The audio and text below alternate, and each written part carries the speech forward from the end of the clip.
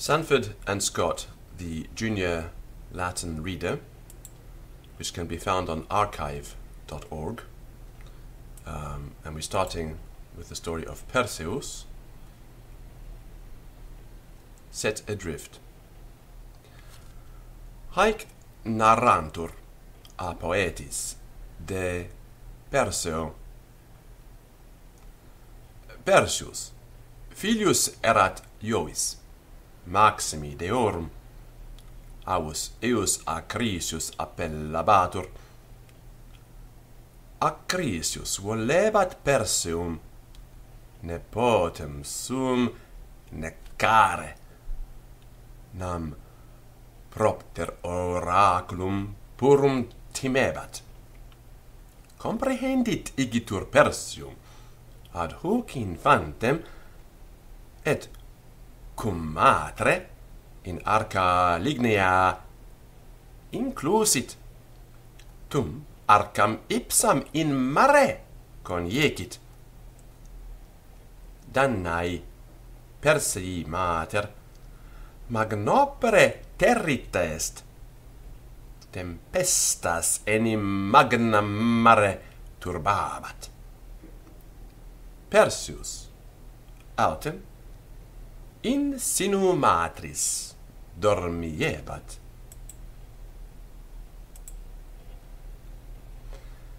Jupiter tamen haec comnia vidit et filium sum servare constituit. Fecit igitur mare tranquillum et arcam ad insulam seripum. Perduxit huius insulae polydectes tum rex erat posqua arca ad litus pulsest. Danae in harena quietem capiebat.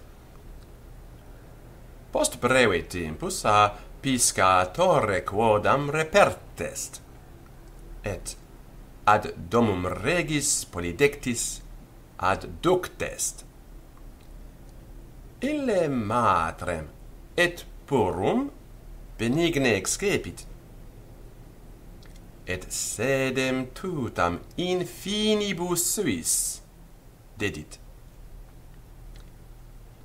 Dannae hoc donum libenter accepit et pro tanto beneficio regi gratias egit. Persius icitur, multos annos ibi habitavit, et cum matre sua vitam egit beatam.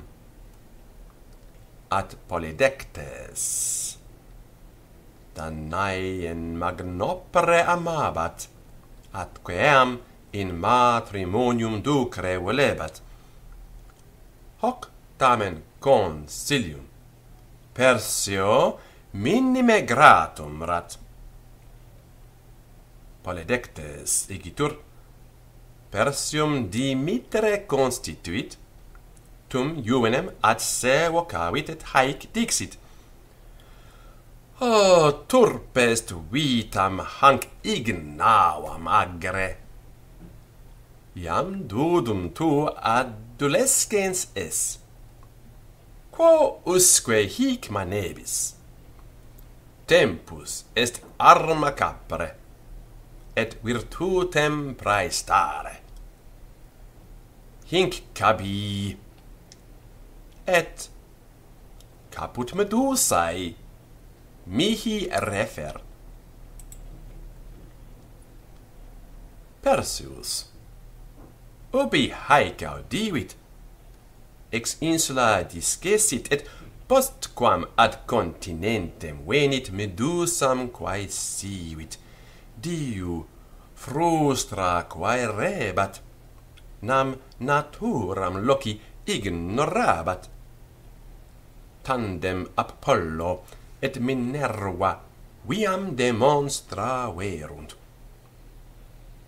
primum ad graias sorores medusae pervenit. Ab his talaria et galliam magicam accepit. Apollo autem et Minerva falcem et speculum dederunt. Tum posquam talaria pedibus induit, in aera ascendit. Diu per aera volabat. Tandem tamen ad eum locum venit, ubi Medusa, cum cetris gorgonibus habitabat. Gorgones autem monstra erat specie horribili. Capita enim aearum, serpentibus omnino contectarant, manus etiam ex aere facta erant. Res erat difficillima abscidere caput Gorgonis. Eius enim conspectu homines in saxum vertebantur. Propter hanc causam Minerva illud speculum dederat. Persius icitur, tergum vertit, et in speculum inspeciebat. Hoc modo ad locum venit, ubi medusa dormiebat. Tum falce sua caput eius uno ictu abscidit. Cetrae gorgones statim es somno excitatae sunt, et ubi rem viderunt, ira motae sunt, arma rapuerunt, et persium occidere volebant. Ilautem, dum fugit, Galliam magicam induit, et ubi hoc fecit statim e conspectu earum evasit.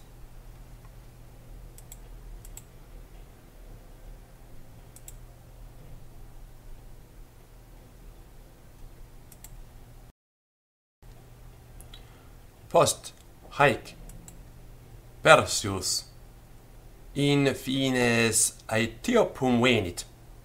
Ibi capius quidam illo tempore regnabat. Hic neptunum maris deum olim offenderat. Neptunus autem monstrum saevissimum miserat. Hoc quotidie e mariveniebat, et homines de devorabat. Ob hanc causam pavor animos omnium occupaverat. Cepius igitur oraculum Dei Hamonis consulvit, atque a Deo Iussus est filiam monstro tradre eius autem filia nomine Andromeda virgo formosissima rat. Cepius ubi haec caudivit magnum dolorem percebit. Volebat tamen quive suos et tanto periculo extrahere atque ob eam causam constituit imparata harmonis facere. Tum rex diem certam dixit et omnia paravit ubi ea dies venit Andromeda adelitus deducta est et in conspectu omnium ad ropem alligata est omnes fatum eius deplorabant nec lacrimas tenebant ad subito. Dum monstrum expectant Perseus accurrit et ubi lacrimas vidit causam doloris quaerit. Illi rem totam exponunt et puellam demonstrant. Dum haec geruntur, fremitus terribilis auditur. Simul monstrum horribili specie procul conspicitur. Eius conspectus timorem maximum omnibus injecit. At monstrum magna celeritate ad litus contendit iamque. Ad locum appropinquabat ubi puella stabat. Ad perseus ubi haec vidit gladium sum rapuit et postquam talaria induit in aera sublatus est tum dei super in monstrum impetum subito fecit et gladio suo collum eius. Gravi vulneravit monstrum ubi sensit vulnus fremitum horribilim edidit et sine mora. Totum corpus sub aquam mersit Perseus. Dum circum litus volat.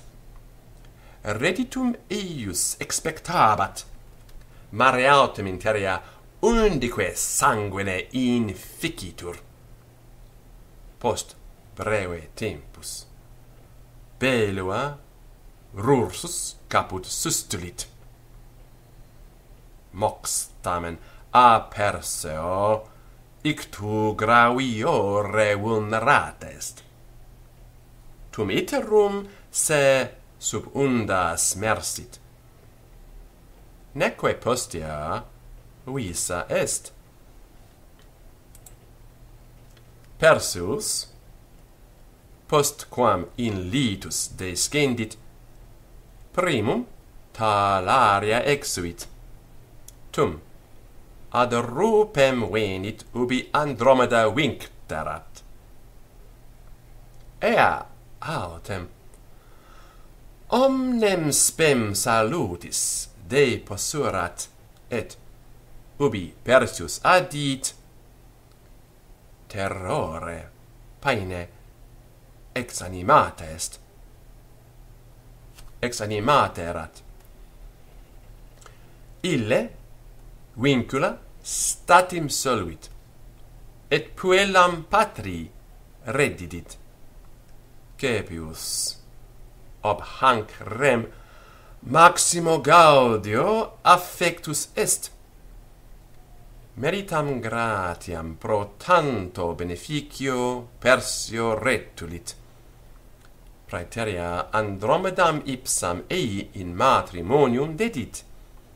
Ille libenter hoc donum accepit et puellam duxit.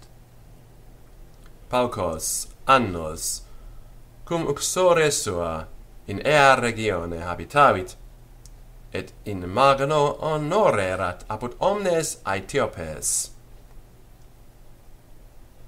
Magnopre tamen cupiebat matrem suam rursus videre.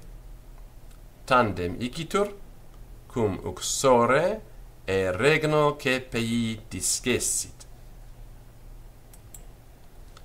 post quam Perseus ad insulam navem appulit, se ad locum contulit, ubi mater olim habitabarat. At domum invenit vacuam, et omnino desertam. Tres dies per totam insulam matrem quae rebat, tandem quarto die ad templum Dianae pervenit, huc Danae refugrat, quod polydectem timebat.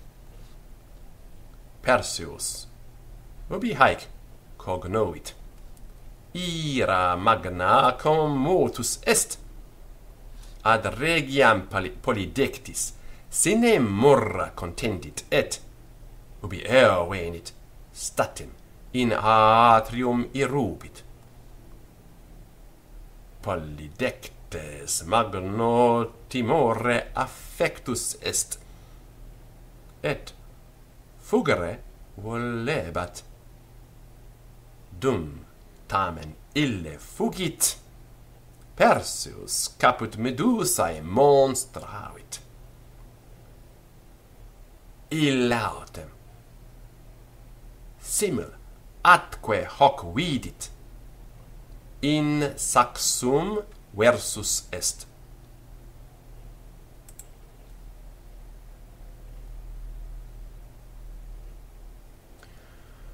Post haec persius cum uxore sua ad urbem acrisi reddit illautem ubi persium vidit magno terrore affectus est. Nam propter oraculum istud nepotem sum ad hoc timebat.